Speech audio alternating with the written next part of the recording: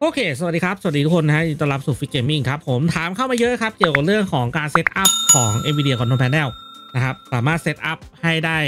frame rate สูงขึ้น เดี๋ยวนี้ผมจะมาทำเป็นคลิปสอนเลยละกันว่าปกติแล้วเวลาผมอัปเดต driver การ์ดจอแล้วเนี่ย ผมจะเซตอะไรยังไงบ้าง แล้วก็อย่างหนึ่งมันมีปัญหาอย่างหนึ่งก็สำหรับคนที่ไม่เคย setting ตรงนี้เลยนะครับ มันจะ frame rate คุณที่คุณได้อะอาจจะเป็น frame rate ที่ไม่ได้ไม่ได้เต็มประสิทธิภาพของการ์ดจอที่คุณใช้อยู่ เดี๋ยวมาทำตามผมแล้วก็ไปดูกันว่า มันได้ frame rate สูงมากขึ้นแค่ไหน วิธีเข้ามันเข้าได้ 2 วิธีนะ ก็คือคลิกขวาจากหน้าจอนะครับแล้วก็เลือก NVIDIA Control Panel ได้เลย หรือว่าก็มาคลิกขวาที่ไอคอนตรงนี้นะครับ มันจะมี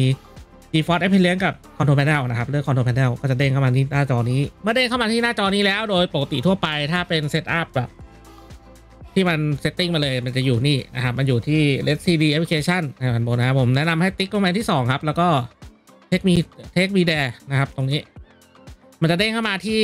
อ่า manage 3D setting นะครับอันนี้เดี๋ยวผม restore ให้ดูเลยแล้วกัน อันนี้คือ setting default นะครับของตัว NVIDIA Control Panel ผมจะตั้งที่หน้า global เลยนะ เพราะว่ามันเราไม่ต้องไปตั้งแยกอยู่แล้วนะครับยังไงเราก็ใช้ตัวนี้ตัวเดียวแล้วนะครับ ถ้าเกิดว่าแต่ถ้าเกิดใครที่อยากจะ ตั้งเป็นเฉพาะโปรแกรมก็ไปสามารถไป add โปรแกรมจากหน้านี้ได้ แต่ถ้าเกิดใครที่ไม่ได้ add ก็สามารถตรงนี้ได้เลยนะครับ มันก็จะไป setting ให้กับโปรแกรมเหมือนทำตรงนี้เป็นค่า default ให้ มาเลย เดี๋ยวมาทำตามผมกันนะครับ ตรงนี้นะครับ ตรง filtering นะครับตรงเนี้ยผมปรับเป็น off นะครับ แล้วก็ตรง anti aliasing นะครับ ผมก็ปรับเป็น off เช่นกัน CUDA GPU นะครับ ตรงนี้อ่าถ้าสำหรับคนที่มีการ์ดจอ ถ้าเป็นเล่นตัวของโน้ตบุ๊กหรือ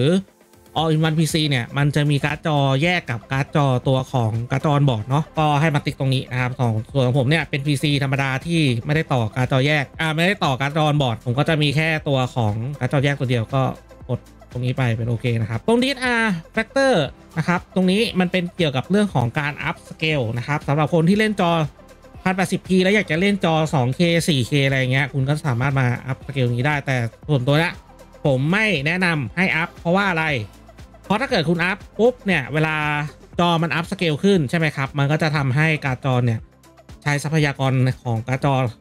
ได้มากขึ้นด้วยนะครับ ส่วนใครที่มีการ์ดจอแรงอะไรเงี้ยจะ up ก็ไม่ก็ไม่แปลกโอเคแต่ถ้าโดยรวมแล้วผมแนะนำให้กด off ไว้ดีกว่านะครับ เพื่อไม่ให้ตัวโปรแกรมมันไปทำงาน ไม่ให้การ์ดจอมันทำงานเกินความจำเป็นนะครับตัว Low Latency เนี่ย อันนี้ผมแนะนำให้ตั้งเป็น Ultra ไปเลยนะครับ เป็นการประมวลผลอ่าทำงานน่าจะรูปแบบเดียวกันกับ NVIDIA Reflex นะครับ ก็คือเหมือนทำงานให้อ่า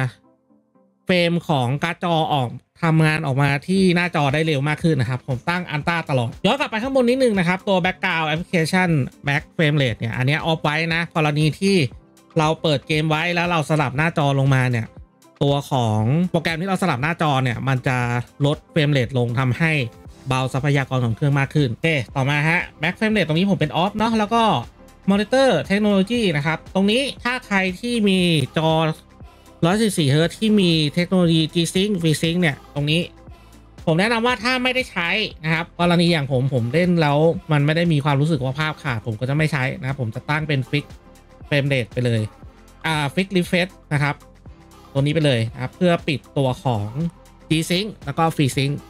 ของของตัวจอนะก็ข้ามต่อมาครับ ตรงที่ OpenGL Rendering GPU นะครับ ตรงนี้จะเป็น Auto Select นะ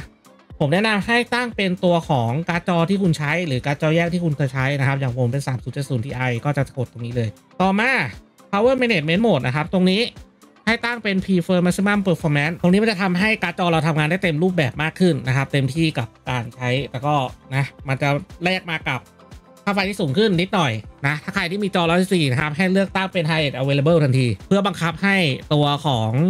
เกมหรือโปรแกรมอะไรก็ตามแต่เนี่ย มันใช้มันรันที่จอ114นะครับ ตรง Shader size ตรงนี้ผมแนะนำว่าถ้าใครที่มีอ่ามีพื้นที่ของฮาร์ดดิสก์เยอะ หรือมีพื้นที่ของ SSD เยอะ ๆ เนี่ย ก็ตั้งไม่ต้องต้องไปยุ่งเหมือนก็ได้ตั้งเป็น Driver Default ก็ได้ เลื่อนลงมาตรงนี้ฮะ Texture Filtering นะครับ ตรงนี้ โดยปกติแล้วจะตั้งอยู่ที่ Quality เนาะผมแนะนำว่าถ้าอยากได้ frame rate ที่สูงจริง ตั้งเป็น High Performance นะครับ ภาพมันก็จะ สวยน้อยลงมานิดนึงนะครับ ถ้าเกิดไม่ได้สังเกตก็แทบจะไม่เห็นแทบจะไม่รู้สึกนะครับ ส่วนตัวของอ่าอีกอันหนึ่งนั่นคือ vertical sync นะครับ หรือ v sync ที่เรารู้จักกันนั่นแหละ ตรงนี้ผมแนะนำให้ปิด off ไปเลยเพื่อไม่ให้ frame มันล็อก ต่อมาครับ Configure Surround แล้วก็ PhysX นะครับ ตรงนี้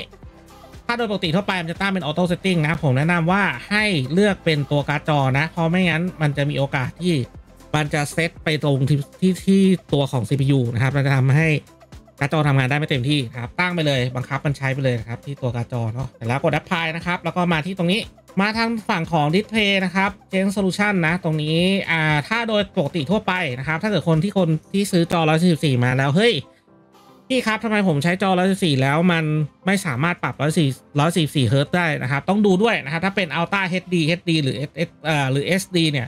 มันจะไม่สามารถเซตเป็น144เฮิรตซ์ได้นะครับ ต้องมาตั้งตรง PC เท่านั้นนะ แล้วก็อย่าลืมเลื่อนลงมาตั้งข้างล่างนะฮะ ตรงนี้ครับ apply the follow following setting นะครับ กดไปที่ use GPU คนอ่า use NVIDIA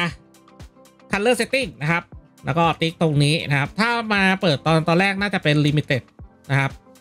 น่าจะเป็น limit นะ แล้วก็เราก็ใช้ตรงเป็นตัวของ full ไป dynamic เลยนะครับทำให้สีมันออกมาสดใส ซาบซ่ามากขึ้น ต่อมาครับ adjust desktop color setting อันนี้จะเป็นเกี่ยวกับเรื่องค่าของสีนะครับ ถ้าเกิดว่าใครที่อยากจะได้จอสีสดนะครับ ให้ติ๊กตรง overlay อ่า overlight ตรงนี้ออกนะครับแล้วมันจะสามารถปรับได้อะผมปรับไปดูนะสังเกตตรงนี้นะถ้าเราเร่งตัวของไว้ไว้บรันนะครับ ตรงนี้สีมันจะสดมากๆ ดูความสดของสีนะครับ แต่ถ้าเกิดใครที่ชอบใช้จอที่สีตรงนะครับ สีไม่สดมากเกินไป ผมแนะนำให้ตั้งตรง override ตรงนี้ไปเลยนะครับ มันจะ setting จอให้กลับมาที่ค่าที่ตรงที่สุดเท่าที่มันจะทำได้นะครับ ตรงนี้อยู่ที่การ calibrate จอด้วยนะครับ ต่อมานะครับให้เลื่อนมาตรงนี้ครับ adjust desktop size position นะครับตรงนี้ตรงนี้จะเป็นการเช็คอีกครั้งนะครับสำหรับคนที่เล่นชอบเล่นพวก counter strike หรือเกมที่มันเป็น black bar นะครับ เราจะต้องมาตั้งตรงนี้นะ ต้องมาตั้งตรงนี้นะครับ ในบางคนที่สามารถชอบเล่นจอแบบจอยืดจอยาวอะไรอย่างเงี้ยนะครับ ให้ตั้งตรงนี้แล้วก็ตั้งอันเนี้ยเป็น GPU นะครับตัวนี้จะเป็นการเปิดปิด FreeSync นะครับ FreeSync V-Sync ทั้งหลายแหละที่ผมให้ไปปิดให้ไปเปิดในไอตัว manage 3D setting นะตรงนี้ อันนี้ถ้าเกิดว่าเราต้องการจะใช้เราก็มาเปิดตรงนี้ได้เหมือนกัน แล้วก็สุดท้ายครับจะเป็นการ setting ตรงนี้ adjust video color นะครับ ตรงนี้ผมแนะนำว่าถ้าเปิดมาเนี่ยให้มาตั้งเป็น with the NVIDIA setting นะครับ แล้วก็เลือกมาที่หน้า advanced นะ ปกติมันจะเป็นลิมิตนะครับ ให้เราเปลี่ยนเป็น full ตรงทอง dynamic range แล้วก็อีกอันนึงก็จะเป็นอันนี้ edge enchantment นะครับ ตรงนี้ต้องตั้งเป็นข้างล่างครับ ตอนแรกมันจะมาเป็นอ่า the video player setting นะครับ ผมแนะนำให้ตั้งด้านล่างทั้งคู่เลย หลังจากนั้นก็คือเสร็จ ในส่วนของตรงนี้ไปนะฮะต่อมาเรามาดูกันที่ power setting นะครับ ถ้าเกิดคนที่ใช้ Windows 10 Windows 11 เนี่ย สามารถกดปุ่ม Windows แล้วก็ปุ่ม Q ได้เลยนะครับ แล้วก็กดพิมพ์ไปเลยคำว่า power setting พิมพ์ power ไปก็ได้ครับพิมพ์ power ไปแล้วมันจะมีขึ้นนี้ power pan นะครับให้เราเลือกอันไหนก็ได้สักอันหนึ่งเด้งขึ้นมาปุ๊บมันจะเด้งขึ้นมาที่หน้าจอนี้โอเค โดยส่วนมากทั่วไปแล้วอะ ถ้าเกิดว่าตอนที่ตั้งมา มันจะไม่มีตัวของ ultimate performance นะ แต่ตรงนี้ไม่ต้องไม่ต้องสนใจมันเราสามารถมาใช้ตัวของ setting ของ high performance ได้เหมือนกันนะครับ ตัว ultimate performance เนี่ยมันต้องใส่โค้ด ซึ่งผม ถ้าเป็นผู้เล่นอ่าผู้ที่ใช้คอมมือใหม่เนี่ยผมไม่แนะนำให้เอาไปใส่ครับเพราะมันจะมี setting บางอันที่ทำให้คอมคุณมันทำงานแบบเต็มที่ตลอดเวลา ถ้าเกิดคุณไม่ได้ปิดคอม หรือคุณไม่ได้แบบมีการทำอ่า screensaver หรือพักกันหน้าจอเนี่ยก็คือมันจะใช้ไฟค่อนข้างสูงนะครับผมแนะนำว่า ถ้าเกิดว่าไม่มีก็ไม่เป็นไร ไม่ต้องซีเรียสไปใช้ High Performance ได้นะครับติ๊กที่ High Performance ได้เลยนะครับ แล้วตรงนี้เรามาดูตรงเนี้ยจะมี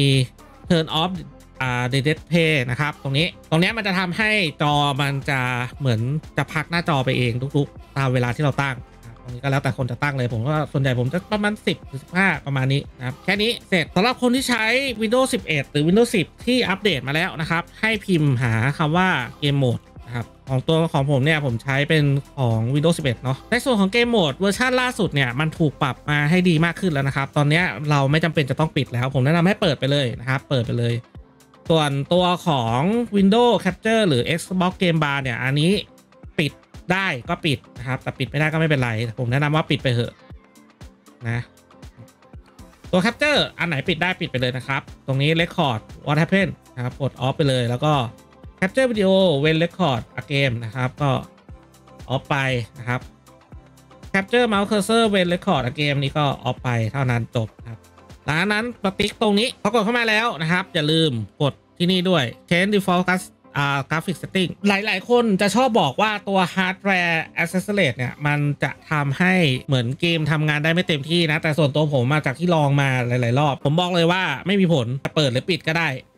มันช่วยได้แหละ แต่ว่ายังนิดเดียวนะครับ มันมีผลแต่มีผลนิดเดียวมากๆ เปิดหรือปิดก็ได้ตรงนี้ไม่ต้องไปซีเรียสมัน ทั้งหมดทั้งปวงของการ setup หลังจากอาที่ผมลง Windows ใหม่ หรือผมอัปเดต driver ใหม่ก็จะมาเซตตรงเนี้ยให้เป็นแบบนี้ หวังว่าจะตอบคำถามคุณผู้ชมทุกท่านได้เป็นอย่างดีนะครับ ใครที่สงสัยอะไรตรงไหนไม่เข้าใจตรงไหนก็สามารถมา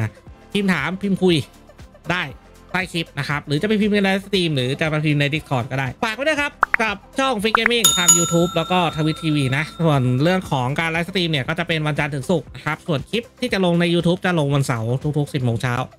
ของวันเสาร์ไปละเจอกันใหม่คลิปหน้าครับใครที่ยังไม่กด subscribe ก็ฝากไว้ด้วยนะครับ เป็นกำลังใจในการทำคอนเทนต์ลงช่องไปละเจอกันดีกว่า สวัสดีครับ